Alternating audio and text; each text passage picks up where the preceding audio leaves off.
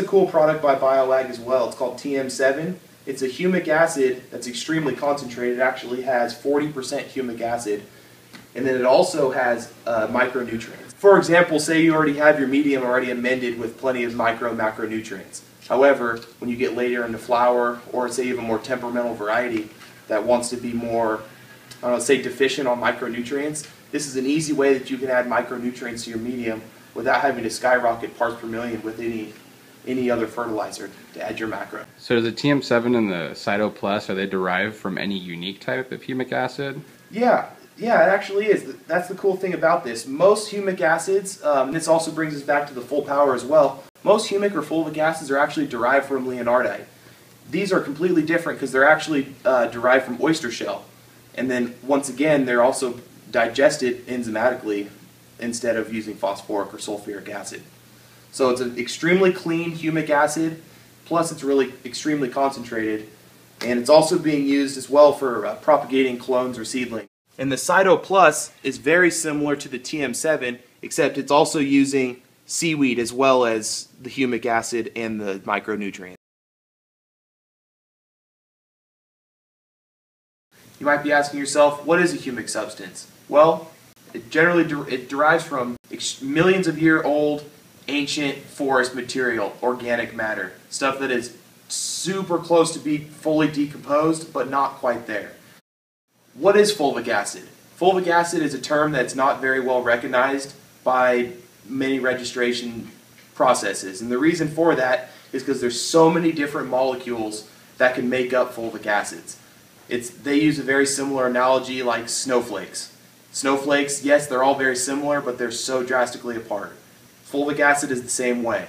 You can have a very similar molecule, but one just one simple chain could be slightly different than the next, changing the way that it is, although it is still classified as fulvic acid. The reason what makes this one differently than any other humic or fulvic acid on the market is the fact that it comes from a microbial process. So what they do is they actually have, similar to the way that they ferment wine or beer, they actually are using microbes and bacteria, enzymes, to break down the humic substance, the organic matter, by a process of biodigestation they're actually breaking down the organic matter and turning it into an acid, a fulvic acid. And the, the difference between fulvic and humic acid is the, is the low molecular weight material. And so it usually rests on the very, on the very top and it's actually extracted from the very top of the, of the process, where the humic acid is on the bottom, and it's generally a very dark black color. So that's, that's, why make, that's what makes fulvic acid so readily available and such, and generally more expensive than the humic acid is because it out of a very large extraction process, a very minute amount will actually be the high grade fulvic acid.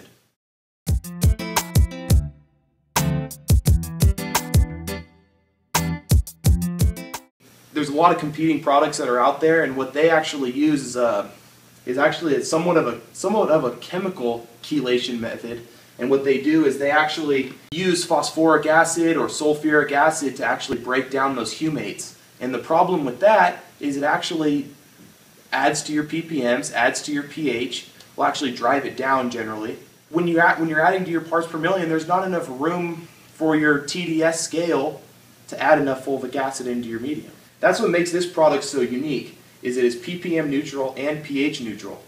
So you, you can use it at the full recommended dose at 30 mils per gallon, and they only, they only tell you to do that so that way you can, you're forcing that acid into the medium. And what acid's going to do is it's going to allow for those micronutrients to be uptaken into the plant. So the cool thing about fulvic acid, the way that it works with micronutrients, is the micronutrients somewhat piggyback themselves onto the acid and permeate itself through the cell wall. And the cool thing about the fulvic acid is it actually has a, has a really close relationship with the cells and that I can permeate through the cell wall and actually into the mitochondria. That's really unique because most of the time the nutrients take a little bit of time to break down and they actually have to do more of a self-chelation process versus the acid helps chelate it right into the plant immediately. This is completely unique because it's done with the microbial process. If you were to say get a competitor product um, such as this diamond nectar and you were to add, even if you were to add the 30 mils like it says on this one, you're going to notice everything is going to go out of whack you're potentially going to have extremely low pH in your medium, and the worst part about it is your parts per million is going to go through the roof. So that's going to eliminate any chance of adding other fertilizer on top of it. The problem with that is when you're wanting to use a, full, a fulvic acid, you want those nutrients immediately available to the plant.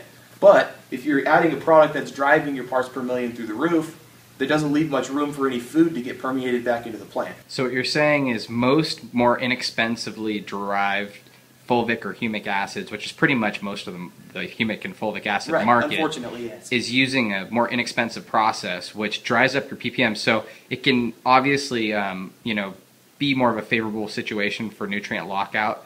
But what they've done at full power is they've given us a, a enzymatically um, formed fulvic acid. So you have the ability of adding the full potential of fulvic acid without increasing your ppms. That's what you're telling us. Right. Exactly. That's exactly right. So the idea is just to get that acid into your medium. It needs to be readily available to the plant. Once the food has been added to the medium, it needs to be there. Instead of, yeah, it's great to add it with other fertilizers, but the idea is to add it earlier on so that way when you add fertilizer down the line, it's already present in the root zone. That makes me ask the question if they potentially, with a lot of other nutrient programs, lower the amount of fulvic acid that they recommend just because they know that it's increasing to their full nutrient program's total EC or ppm. That's that's very well said, actually, because that's that's just what's going on. You know, I've been told from a lot of old time growers, especially, uh, products such as this have been used at when they initially hit market. They were an extremely high application rate. Um, not necessarily this one, but a lot of other competing fulvic acids are telling initially told you to use upward near 90 over 100 milliliters per gallon, which is great because you're getting that fulvic acid in the medium. But when you're using it at that high of an application rate with the phosphoric acid used to derive it, it your plant is going to immediately lock out. Um, your, pH will be so far down, and that's the problem with that. You have to use a process that's being enzymatically digested.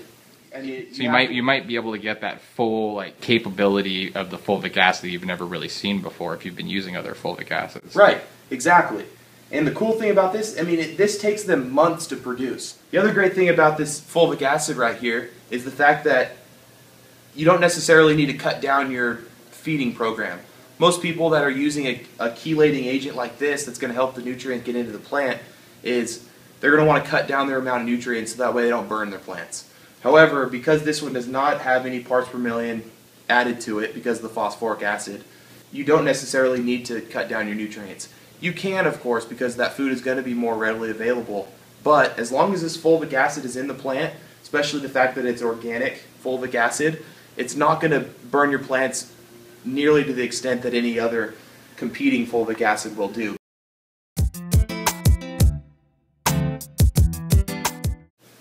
when you're using that as a foliar spray, you are going to want to kick down your nutrients. The reason is because it will immediately get through those leaf stomata into the plant versus when you're feeding it through the root zone, it's, it's still going to take a little bit of time before it burns the plants.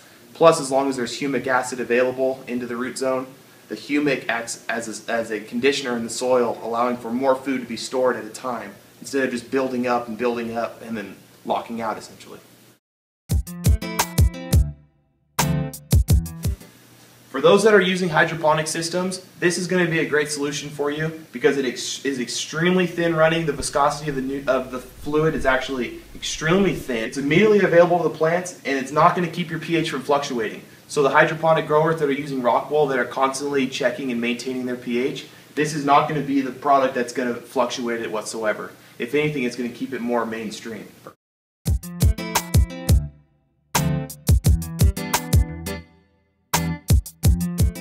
I also wanted to make a quick point about the customers that are using uh, this product for compost teas. Now, like I said earlier, it's not going to change your pH or parts per million, and it is OMRI listed.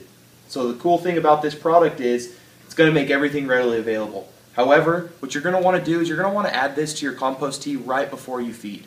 So what I always encourage customers is either feed them on separate feed days or right when you're done with the brewing process before it initially hits your root zone or you spray it, add your fulvic acid just before that process. To the compost tea? To the compost tea itself. And all that's going to do is just going to allow the bit of food that's in that tea to go right into the plant, and also you're going to allow that acid to get into the root zone where it needs to be.